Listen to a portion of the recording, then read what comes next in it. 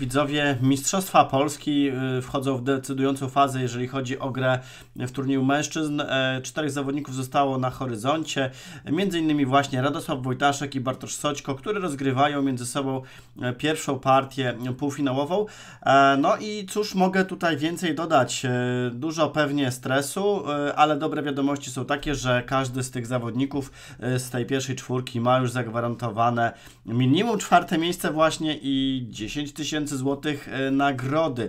To jest e, wynagrodzenie za miejsce numer 4. Moi drodzy, przejdźmy może tutaj do rzeczy. E, panowie znają się jak łyse konie i myślę, że ciekawa partia tutaj przed nami. Radosław Wojtaszek białym kolorem jest niezwykle silny. Pan Bartosz Soćko charakteryzuje się taką grą bardzo mm, stanowczą. Jeżeli na przykład przeciwnik mu coś poświęca, no to on bardzo często te poświęcenie przyjmuje, czyli bardzo lubi e, pionkożerstwo, można w ten sposób powiedzieć, czyli przyjmuje materiał, na przykład jakąś jakość. Wiele partii takich widziałem. Przejdźmy już e, do analizy, moi drodzy. D4 odpowiedział, e, zaczął Radosław Wojtaszek tym posunięciem. Skoczek F6, C4, E6.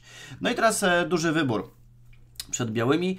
Białe mogą sobie zastosować na przykład skoczek C3, skoczek F3, można G3 zagrać. No cóż, nawet A3 ruch e, też się oczywiście widuje, E3 takie naturalne, ale myślę, że e, bardziej mm, trzeba grać jakieś takie szachy, myślę, nie typu E3, bo się ten ruch na przykład E3 za bardzo nie podoba, go nic nie wychodzi, ale nie rozwlekam się nad tym posunięciem za bardzo, G3 e, nastąpiło. I moi drodzy, tutaj czarne również mają kolejny wybór, mianowicie mm, tutaj w ogóle to jest utwarcie katalońskie, takie katal katalonka tak zwana, ten ruch G3, jeszcze to może przejść do innego debiutu, debiutu i tak naprawdę mm, pan Bartosz mógłby zagrać D5, grając e, tę katalonkę w sposób powiedzmy normalny, lecz zagrał C5. No nie wiem, czy zaskoczył tutaj przeciwnika, zresztą e, Wojtaszka bardzo ciężko zaskoczyć w debiucie. E, Radek dosyć pewnie zagrał i szybko D5. Jest to normalna sprawa. Tutaj e, panowie w ogóle te partie rozgrywali na początku bardzo, bardzo szybko. To oznacza, że ten debiut jest dla nich znany bardzo dobrze. Wybicie nastąpiło, wybicie nastąpiło. Plus dla białych jest taki, że pionek jest wyżej centrum. Tu za chwilę się można ustawić typu na przykład, yy, znaczy można zagrać na przykład skoczek C3, E4. Są takie opcje. No a czarne planują robić domek, zagrać D6 i flankować tutaj, znaczy atakować na skrzydle hetmańskim. Takie są główne plany, e, bo to powoli przechodzi, moi drodzy, do takich Benoni, e, Benoni układów, że tak powiem. Skoczek na C3 zostało zagrane G6, e, goniec G2, moi drodzy, goniec G7. Tutaj domki są uskuteczniane. Wyprowadzamy wszystkie figury roszada, roszada. No i właśnie mamy taką obronę Benoni, moi drodzy, nowoczesny wariant e, fian, fiankettowy, w sumie nie wiem jak to się wymawia, a nieistotne moi drodzy, myślę, że mm, e, pozycja dla obu panów jest znana i lubiana z obydwu stron, więc e, zostaje zagrane wieża 8. To jest bardzo ważny ruch, żeby trzymać tutaj tę linię i czasami skoczek skakuje na e4, próba wymiany skoczka i goniec się nieco rozciąga tutaj po przekątnej. Wieża zagrała na E1 z próbą na pewno e, zagrania takiego ruchu jak e, E4, lecz e, taki ruch jest tradycyjny, teoretyczny. Tutaj skoczek zagrywa na A6. Innymi planami, jakie można tutaj stosować, jest przede wszystkim ruch A6, e, który pomaga pionkowi dojść do B5, ale zawsze po ruchu A6 pamiętajmy, że białe mają odpowiedź typu ruch A4 i ten rozwój tutaj jest nieco utrudniony. E, dlatego też skoczek A6. Dlaczego skoczek A6? On ma wiele funkcji. Zawsze tutaj na B4 może fajnie i spoglądać sobie na D5. Znaczy fajnie sobie może zagrać. Czasami goniec F5 wchodzi i skoczek dobrze z gońcem tu mogą współpracować. Z reguły też skoczek wraca na C7 i podważa nieco centrum przez D5 i potem na przykład B6, może B5, gońca wyprowadzamy. No różne są tutaj opcje, niełatwe w każdym razie e, do gry. No Radek Wojtaszek, słuchajcie, wyprowadza po raz kolejny normalnie figurę i tak chyba trzeba grać, panie Szechusiu. Ja tutaj trochę mówię do siebie, bo e, w moich grach jest tak, że ja tych figur nie zawsze, nie, nie zawsze wyprowadzam te figury naturalnie lubię sobie pokombinować, a to się często, e, no może nie, nie zbyt tak często, ale to się różnie kończy. No nieistotne, panowie grają dalej. Skoczek właśnie zagrał na E4, ale to e, też wynika, słuchajcie, tego, znaczy e, uczymy się właśnie na takich analizach, jak grać debiuty, jak wyprowadzać te figury, z jakim planem analizy są bardzo ważne. Ja to wielokrotnie powtarzałem i będę jeszcze powtarzać do znudzenia. Moi drodzy, zbić trzeba, no bo inaczej tutaj e, ten nacisk, przepraszam, tutaj ten nacisk na C3 jest niezwykle silny i trzeba coś z tym zrobić. No, takie odejście gońcem na D2 jest bez sensu oczywiście, bo zawsze można tutaj kopnąć na przykład tego gońca, nawet skoczka, tak przypuszczam. Nieistotne, tutaj myślę, że wymiana jest obowiązkowa i skoczek na D2, moi drodzy. No, ta pozycja na pewno jest znana e, obu panom.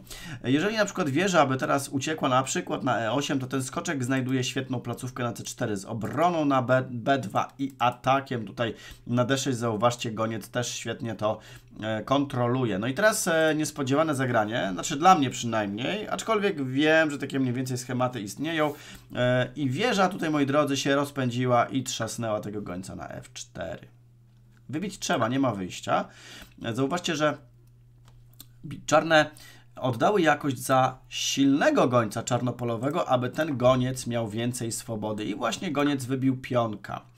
Czyli czarne tutaj zdobyły y, jednego pionka więcej. Dobrze, liczę 2, 4, 4, 6, 2, 4, 6, 7. Tak, pionek więcej jest w tym momencie u białych.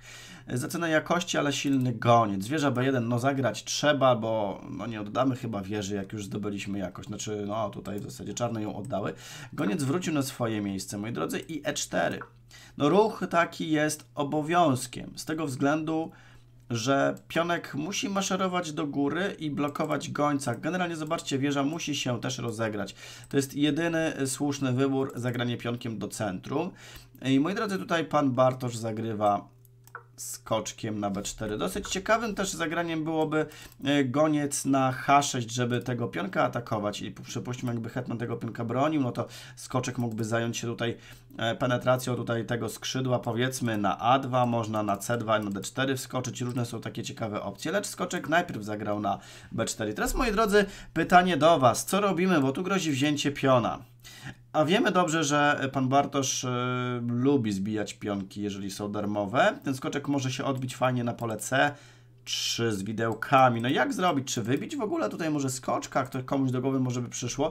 Na pierwszy rzut oka wydaje się to tak całkiem sensowne. Skoczek C4, potem lecimy E5. No ciekawie by było, oczywiście pamiętajmy o takich ruchach wtrąconych. Nie jest to wszystko takie proste.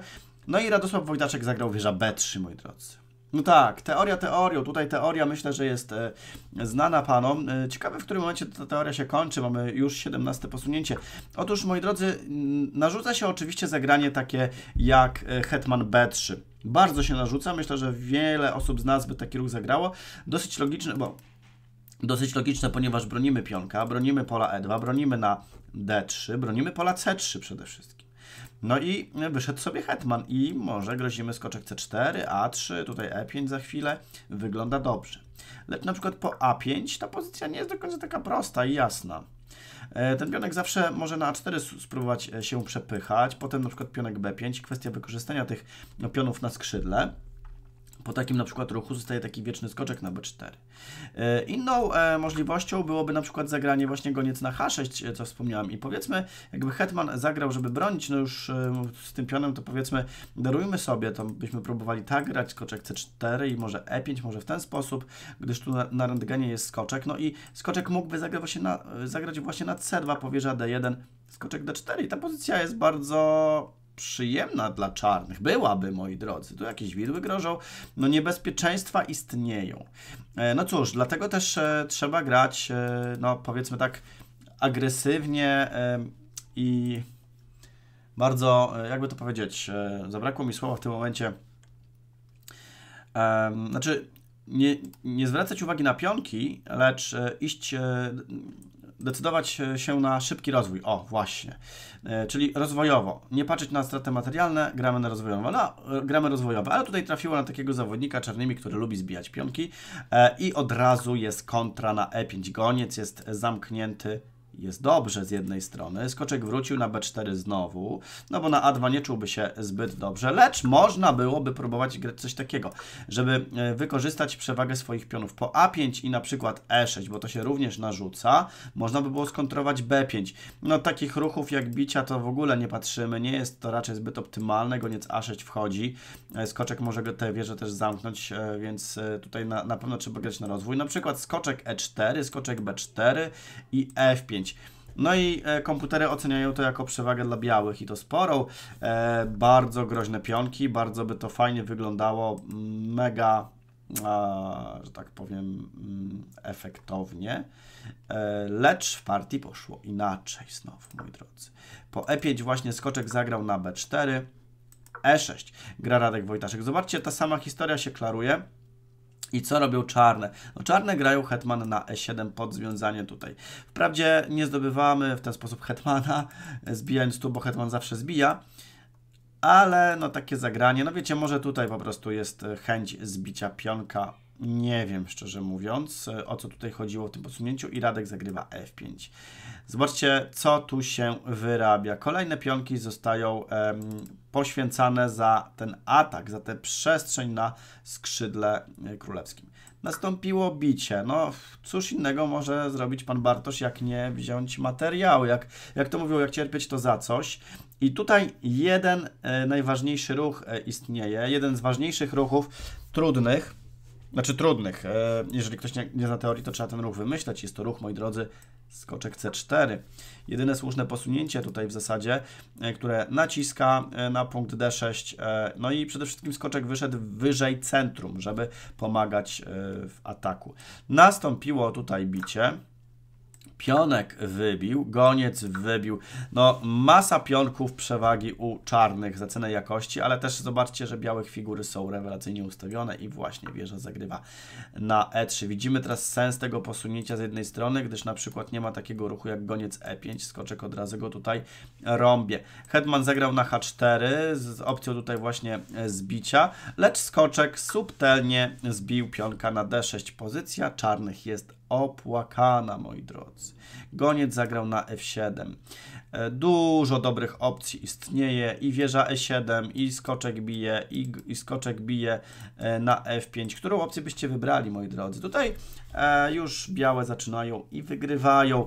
Spróbujcie znaleźć kontynuację dla białych. Można sobie zatrzymać materiał. Ja oczywiście już pokazuję rozwiązanie. Uwaga, skoczek zbija na F7. Dosyć proste zagranie oczywiście. Król wybija, no bo jak nie wybija, to jest figura więcej, nie ma o czym rozmawiać. I hetman wchodzi na D7. Dosyć prosta gra. Król G8 i końcowa faza. Wieża G3. Grozimy matem. No hetman na F6 czy H6 jest to bez różnicy. Wieża E7, moi drodzy, czarne złożyły broń. Nie ma jak się bronić, leci po prostu kolejna figura, a po jakimś szachu zawsze goniec jest na F1. Wszystko bardzo ładnie tu się trzyma i zostało zagrane naprawdę niesamowicie. E, przygotowanie, nieprzygotowanie, 28 ruchów, e, Arcymistrz 2600 ponad, pokonany. E, moi drodzy, dziękuję za uwagę, śledźmy dalej zawody, życzę Wam e, zadowolenia z gry i dużo zdrowia, trzymajcie się serdecznie, cześć.